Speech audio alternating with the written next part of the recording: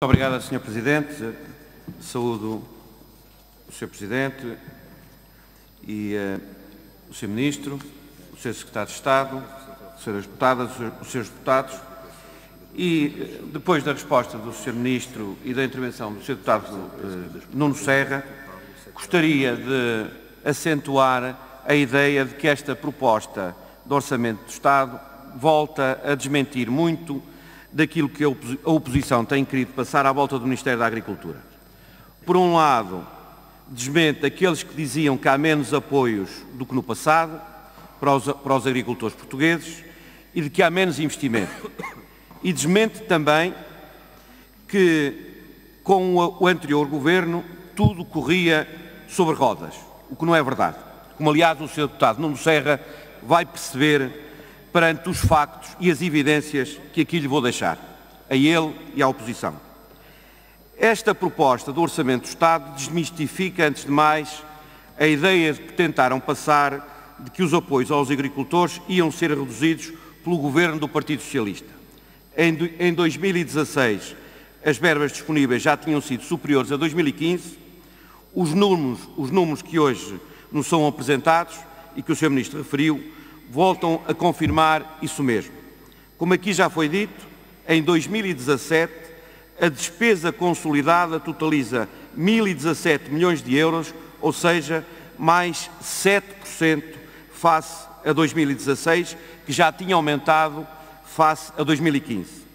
Queria, de resto, saudar o Governo, mesmo perante o incómodo do Sr. Deputado Nuno Serra, relativamente a uma prática que reforça como disse, a certeza de mais apoio para a agricultura portuguesa. O Ministério da Agricultura procedeu, no último dia de outubro, ao pagamento de 525 milhões de euros de que foram beneficiários 258 mil agricultores. Trata-se, como aliás o Sr. Ministro acabou de afirmar, do maior adiantamento de sempre pago através do IFAP. Resulta, como se sabe, do aumento de 50% para 70% do valor do pagamento dos adiantamentos e também da antecipação desses pagamentos, novembro e dezembro, para outubro. Uma proposta que, convém lembrar à oposição, o Sr. Ministro defendeu e viu aprovada no Conselho Europeu de Agricultura em junho. É uma responsabilidade e uma iniciativa do Ministro da Agricultura. Mas a segunda ideia que vale a pena desmontar é de que com a anterior ministra e com o deputado Nuno Serra, diga-se, o, o PDR era um mar de rosas. Ou se quiser, que era tudo à grande e à francesa. Não é verdade que assim tenha sido. O que de facto aconteceu e está a acontecer é que foi com este governo e é com este governo que se iniciou o investimento a partir do novo quadro comunitário de apoio na, no setor agrícola. O PDR, Sr. Deputado Nuno Serra, o, o, o PDR chegou ao seu terceiro ano, quando este Governo entrou em funções, com apenas 12% das verbas executadas, na sua maioria agroambientais. Menos, imagine, Sr. Deputado, que o PRODER em período homólogo entre janeiro de 2014 e janeiro de 2015, eu sei que incomoda, Sr. Deputado, eu sei que incomoda, mas tem que ouvir até ao fim. Desculpar-me-á. Incomoda. E eu demonstrar-lhe que é verdade. Entre janeiro de 2014 e janeiro de 2016, os senhores não tinham celebrado quaisquer contratos de investimento no setor da agricultura. Quaisquer contratos de investimento. Como gostaria de voltar a lembrar, como gostaria de voltar a lembrar, o Sr. Deputado vai já perceber que não tem qualquer autoridade para falar nestas matérias, como gostaria de lembrar que em 2012 decidiram reduzir a taxa de cofinanciamento para 15% e em 2014 solicitaram que essa mesma taxa, num montante de 470 milhões de euros, fosse de 0%. O que é que fizeram? O que é que isso significa? Que a dotação do Orçamento do Estado passou de mais de 140 milhões de euros em 2010 para 65 milhões de euros em 2015. Quem são os responsáveis por estas reduções certamente que o Sr. Deputado Nuno Serra saberá responder.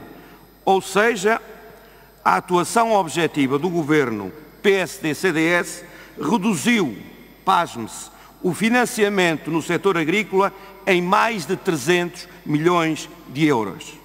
É por isso que é difícil reconhecer autoridade ao deputado Nuno Serra para falar destas matérias nesta audição.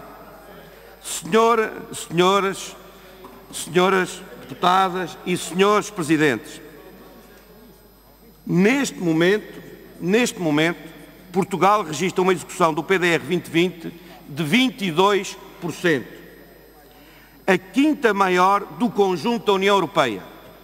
Muito por força, isso é o que custa à oposição, custa muito a muitos deputados da oposição, muito por força da atuação do atual governo e da atuação do Ministro da Agricultura.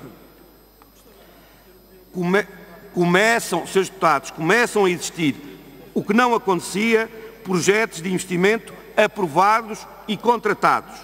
Nos últimos 11 meses, cerca de 7.100 projetos contratados e aprovados, que representam um valor global de 760 milhões de investimento no setor agrícola e na economia nacional. Pedia, por isso, o seu comentário, Sr. Ministro, porque, pelos vistos, vale a pena sempre voltar a esclarecer estas matérias até que nós tenhamos aqui um cabal esclarecimento de todas estas situações. Quer no que, se refere à taxa de comparticipação no PDR ao longo dos anos, quer relativamente ao ritmo futuro da aprovação de candidaturas, quer ainda relativamente à execução, particularmente daqui para a frente, sem precalços, no PDR 2020. Deixo-lhe, por isso, Sr. Ministro, para finalizar, uma palavra de apoio e de reconhecimento. E, sobretudo, por esta, num momento de grande rigor orçamental e de grande exigência, sobretudo por aquilo que merece este Orçamento do Estado por parte do Partido Socialista. Um apoio total, porque estamos absolutamente convencidos que é um passo em frente na afirmação daquilo que é a economia portuguesa a partir daquilo que é a atividade agrícola num país como o nosso.